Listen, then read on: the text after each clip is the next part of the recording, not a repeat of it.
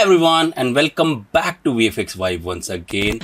So in today's video we are going to recreate one of my favorite tutorial which I used to watch when I was studying animation and VFX. When I was a student I saw this tutorial and I was mesmerized by the work done by the artist, right?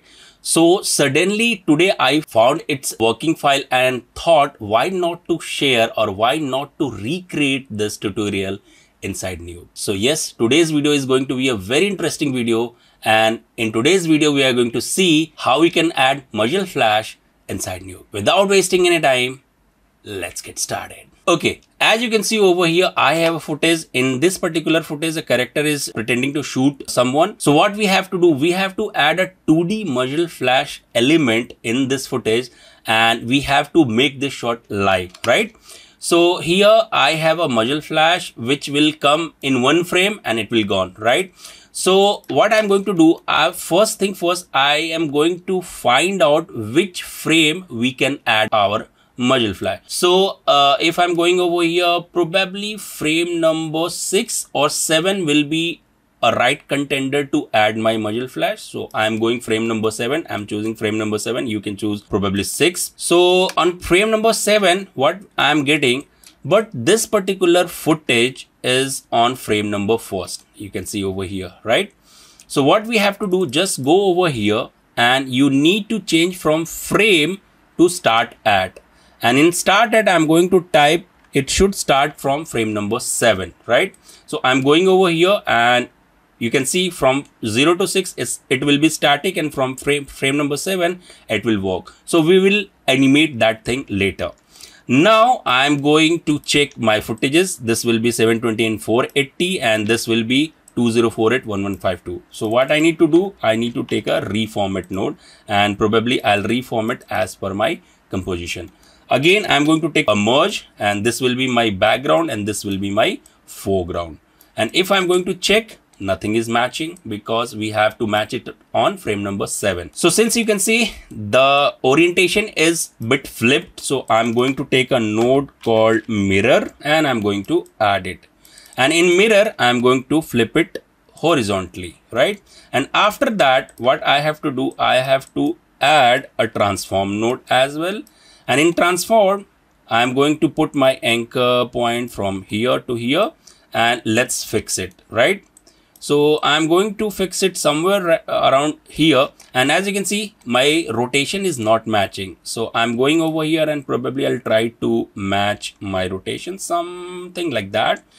And also scaling is too big. So I'm going to scale it down probably 0.5 or 0.4 0.5 will be a good start and also I can rotate a little more something like that and once we are satisfied what we have to do we have to animate this merge as well. Because we don't want this muzzle flash from frame number 7 uh, 6 we want only on frame number 7 so i'm going over here.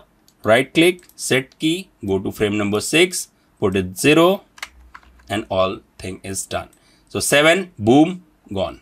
Right so after that what also we have to do we have to add some sort of glow and some sort of core to it because I have core but not that much. So how I can do that? So I am going over here. I'm going to put dot node and I'm going to take a glow right? And in glow I'm going to add effect only and this time we are going to glow it in uh, two steps right? First step will be the bigger glow and second one will be the inner core right? So probably i'm going to enhance it little more and i'm going to take a merge and probably i'll add it in a plus mode right? So after that i'm going to take another glow and this time in this glow probably i'll create my core. So i'm going to increase my tolerance probably like this like this yes this will be good. And I'll make some space and I'll add a merge one more time and I'll merge it.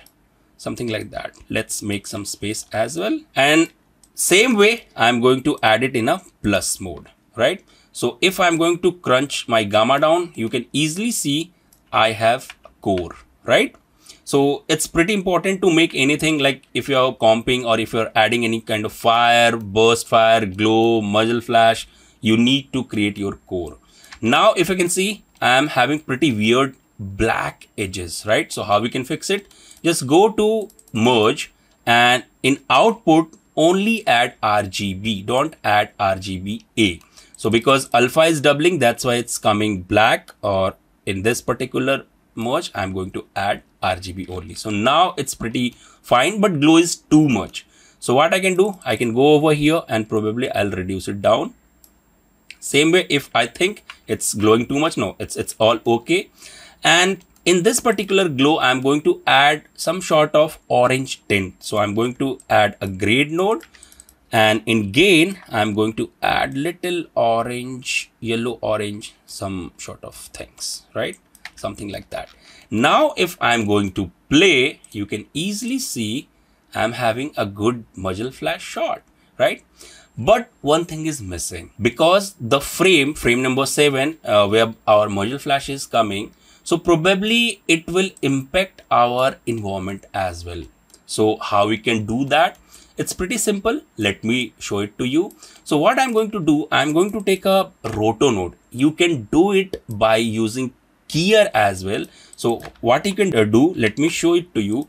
You can take a keyer node and probably you are going to find out your highlights and you can do that. It's all up to you. But since I'm using my roto shapes so that I can define shape in a better way, so probably I'm thinking the impact of muzzle flash will come in this area on his hand. So I'm going to mask his hand. So you don't need to be very precise, but I'll recommend you to do precisely because it will come on single frame. And probably I, I, I think uh, this area will be on impact zone. So i'm going to add this area as well and probably his face. So i'm going to add few shapes. Something like that and probably i think on his shoulders as well right? So let me do it quickly right? Probably on his this area as well. So you have to define where you want your impact should be. Probably like this on this area as well. So it's all up to you. You can add as much as you want right? Probably i can add some over here or over here it's all up to you. I'm not going to do that all. But major part will be this area. So i'm going again. I can take this and probably i will do this. And after that what i'm going to do i'm going to take a merge node. Let's add a dot node over here. And let's connect my B pipe over here and A pipe over here, right? And over here, I'm going to do mask. I want cut out. Okay, after that, I'm going to take a grade node and probably I can merge it over here in screen or plus mode, whatever you want, something like that, right? But as you can see, I'm having bad, pretty bad hard edges, right? So what I can do, I can take a blur node and probably I'll blur it. I'm not going to merge it on plus mode. Probably I'll do it in screen, right?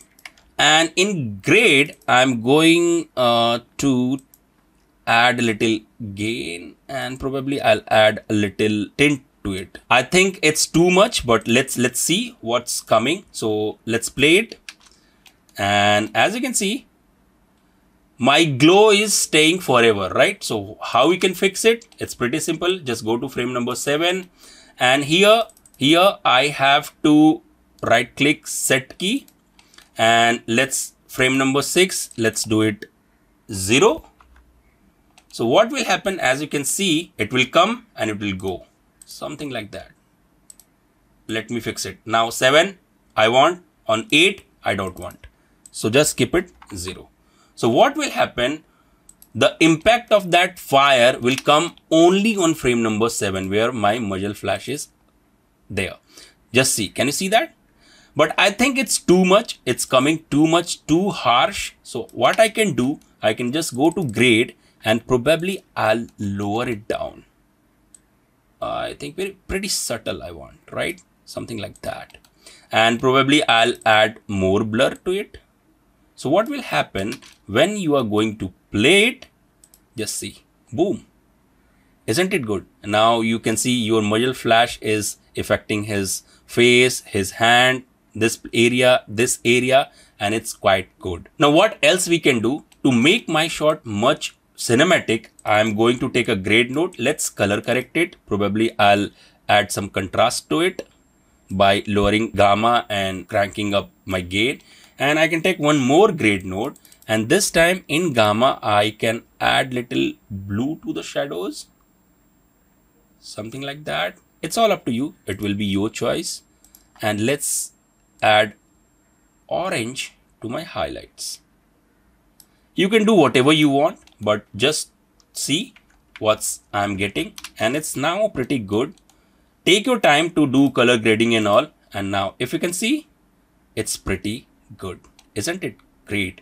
So we are having our muzzle flash we are having our smoke if you can see if we are having our impact of that muzzle flash to the environment to the character's face to the character's sh shoulder over here. So i think this is the way how we can start adding our muzzle flash to our shots. And it's pretty basic. You can think you can start adding but don't forget to add impact of that particular muzzle flash to the environment so I hope this video will help you to understand the process of adding muzzle flash or 2D element in your footages. And if you think that this video is helping you, please don't forget to like this video, share this video.